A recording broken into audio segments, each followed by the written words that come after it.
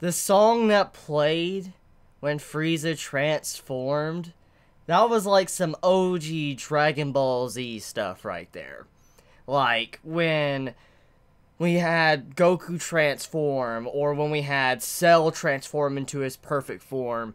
Just that scene at the end of this episode when Frieza's like, oh, I guess I don't have time to mess around. We don't have time. He's like, join me. And he just starts transforming, and the entire planet just starts glowing gold. That was an impressive scene. That got me really hyped for Frieza and more from his character. Regardless of how many might feel about Frieza's return, you cannot tell me that was not badass. Just the chemistry between Goku and Frieza. That was so interesting, because these two characters, ever since we've ever seen these two in the same scene, they've always basically fought. Frieza wants to kill Goku, and Goku has to stop Frieza. And for the first time, Frieza and Goku are on the same side, for now.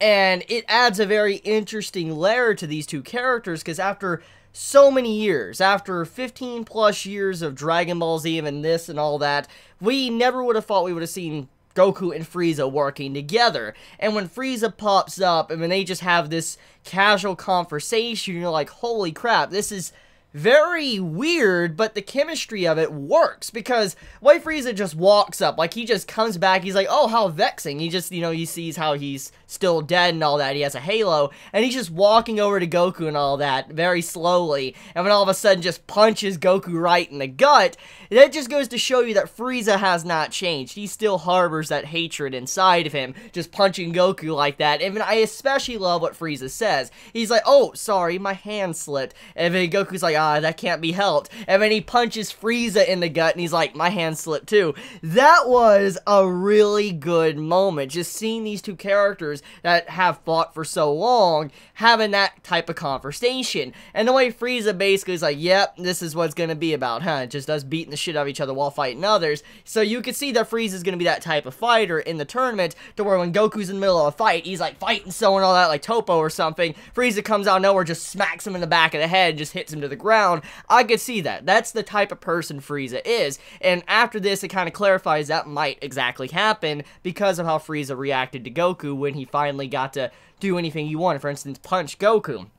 So that was a great scene. But I especially like how Goku was like, okay, I want to use instant transmission. You know what this is, right? You've seen it before. And Frieza, oh yeah. So I like that little nod too of how Frieza has seen that move. He's aware of it. I, I do like that, you know, little casual conversation between Goku and Frieza. But then I especially love the scene after that with the transformation sequence to the people that were trying to stop Goku. Now, regardless of how kind of stupid it was for the other universes to send assassins or whatever when they should be spending their time finding their own fighters and trying to figure out how they can beat someone. I mean, for them to send assassins to try to take down someone from the Tournament of Power, it was kind of stupid because they got to factor this in. For Frieza to be chosen to join the rankings of the fighters of the Tournament of Power, he most likely is not going to be no pushover. He's not going to be a joke. And they even went out of their way to watch clips and stuff on GodTube on Frieza. So they should know that sending assassins, lowly assassins, is not going to work at all against Frieza. But to go one step further, I mean, if they had this many, you know, assassins laying around that could assassinate someone like Frieza, then you think they would have one of the most powerful teams in the Tournament of Power. But I don't know. There, there's a lot of things that are kind of stupid about that. But regardless, though, Frieza walks out with Goku because they have people that want to stall time, want to disqualify our universe. Basically, when they get out there, Goku's like, who are you? What, what are you doing? Are you trying to stop us from getting to the tournament? They're like, we can't answer that. We can't answer that. Just giving no answer at all. They're just there to stall time. And basically, as the conversation continues, they're not getting anywhere. Frieza just shoots a death beam right beside Goku, grazes his cheek, and kills this dude. He just falls to the freaking ground, or into the water, actually, not ground, and the man's gone. And Frieza's like, oh, you know, I've kind of, you know, gotten a little bit, you know, soft being in hell. I, I need to warm up this body of mine. And he's like, oh yeah, my hand also slipped again. That was just so good, because Frieza just shooting this man like that, it just proves that he is not there to be a good guy. He's still a villain. He's just on their side. And I just like that at the moment, just seeing how Frieza's still a scumbag. He's still that Frieza we know, and he still will kill people, especially if they get in his way. And the way he shot this man and all that, that was really great. But then, I especially love the moment when Goku's just trying to do instant transmission, just get him out of there and all that, because, like, we have no time for this. And all of a sudden, Frieza's like, huh, we have no time for this then I guess we just have to make it quick then. And when all of a sudden he's like, join me, and he transforms, and the music just starts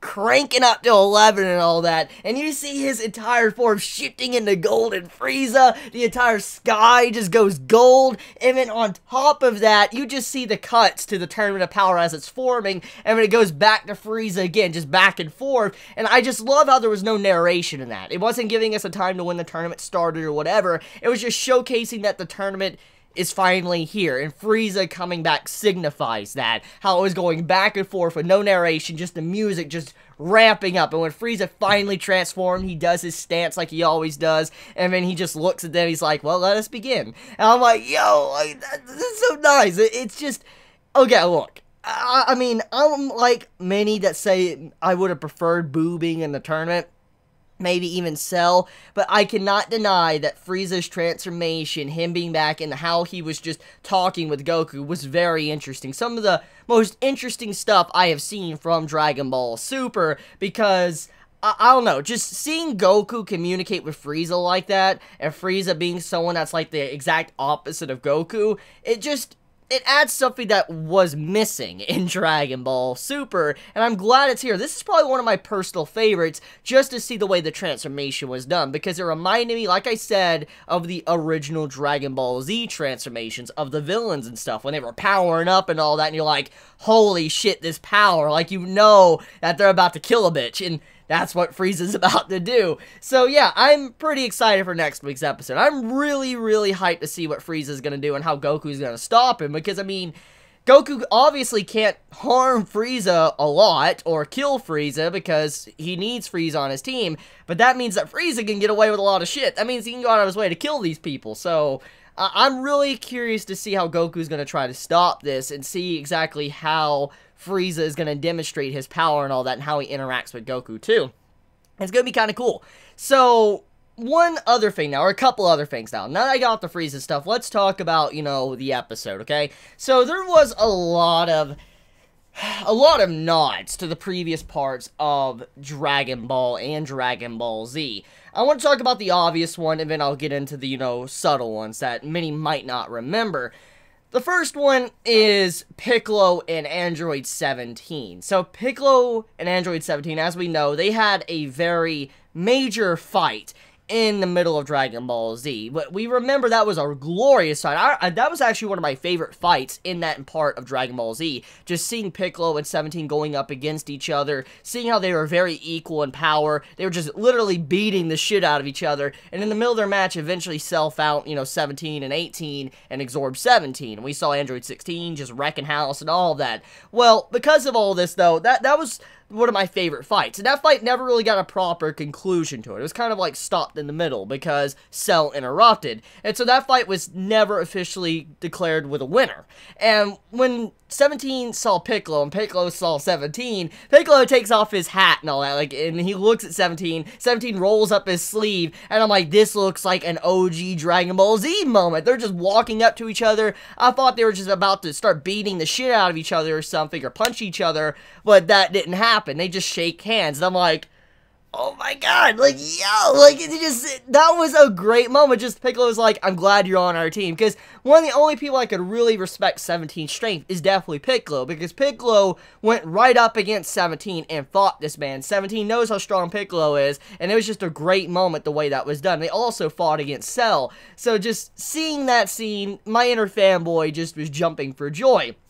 But then, there was another great exchange that referenced Dragon Ball Z. Now, I don't know necessarily if this is a reference or not, because the, the scene that I feel like it's referencing, if I remember correctly, it's filler. I, I could be wrong there. If I am wrong, correct me. I go for it. Correct me, because I make mistakes. But if I am correct, when, you know, Frieza was defeated and Goku was gone, out in space and all that, well, as we know, Krillin, he had a girlfriend. And I don't remember if that was filler or not filler. I, I don't remember. But the name of the girl was Marin, if that's how you pronounce it. And basically, if it was filler, I don't know if Toei was trying to reference that or make that type of joke, but if it was not filler, then it definitely was a reference towards it. Like, there's no doubt about it. Basically, 17 calls, his, you know, his actual niece, Marin, which directly references Krillin's ex-girlfriend. And I'm like, bro, like, did, did 17 just do that? Did he just reference Krillin's ex-girlfriend? The way 18 looked, it looked like she was really pissed off. Not just because the name was messed up, but because of who he referenced. It seemed like 18 was about to kill a bitch. Like, he, he was mad. Like, 18 was seriously mad. But then I love how awkward that was between the entire group. How, like, Krillin didn't know what to do. He's like, uh, I don't know what I could say to this man. I don't know what I could say to 17. And then 18's like, stop forcing yourself to make a conversation. It's kind of awkward. It just, that was so awkward, but funny to see the interaction between these characters. And I also like how 17's like, I'm 17. Like, he's acting like he's age 17 or something. Like, oh my god. Like, just very awkward. Just some awkward stuff that was going on in this episode. But I had a lot of fun with that. Now, anyways, let's get to the uh, subtle stuff, okay? So, one of the subtle things is focusing around Master Roshi. Now, I found it very interesting how Master Roshi, he was training in this episode. He talks about the Mafuba and all that. He talks about how his techniques could be very helpful in the Tournament of Power, which makes a lot of sense. I've discussed this before. But he goes along going down memory lane, thinking about everything he's accomplished or who he trained under, his techniques and all of that. And it just really reminded me of Dragon Ball and how Master Roshi, he was this very prominent character in the series that you should never underestimate, and how he was just thinking about things, thinking about where he came from, how he learned, how he cannot fly, just all these little nods to his character, and then on top of that, to go one step further, when he looked at Gohan, he's like, you look good, Gohan, like, basically giving him support, acknowledging him for, you know, training and becoming stronger, and I'm thinking to myself, like, did Master Roshi just reference, you know, Gohan? Like, the original Gohan, like not Gohan or Gohan in Dragon Ball Z and Super, but I'm talking about the original Gohan. Did Master Roshi kind of like do that? Did, did he just reference him? And I'm, I'm thinking to myself like, damn, like it, there was just some moments with Master Roshi that really took me by surprise, and I, I'm really loving this about Dragon Ball Super, just the way that the series is doing that. I mean, if there is one thing we can say, okay, regardless of some things that probably not written that properly, like especially with how, you know, Caulifla and Kale got their Super Saiyan, Besides stuff like that, you cannot deny that Dragon Ball Super has been very good with bringing certain characters that have been useless throughout Dragon Ball Z back into the series and being important once again. It really makes me happy to see that. Like Master Roshi, seeing Krillin, you know, being important. 18, 17, Piccolo coming in and all that. It just, it makes me happy seeing these characters getting development, you know, changing, trying to grow stronger. I, I love how it's not just focusing on Goku, Vegeta, and Gohan. I'm glad it's focusing on other characters as well. And so seeing it focus on Master Roshi once again goes to that main central point I've been talking about for a while, is that I really love how they're just nodding to these events and they're not forgetting about these characters. So that's about it when it comes to this episode. It was a great episode. Can't wait to see what happens next. Can't wait to see if the other universes get away with what they're doing to Goku and Frieza. We'll see where that goes, but let me know your thoughts in the comments below. I love you all so much. Please be safe. Chibi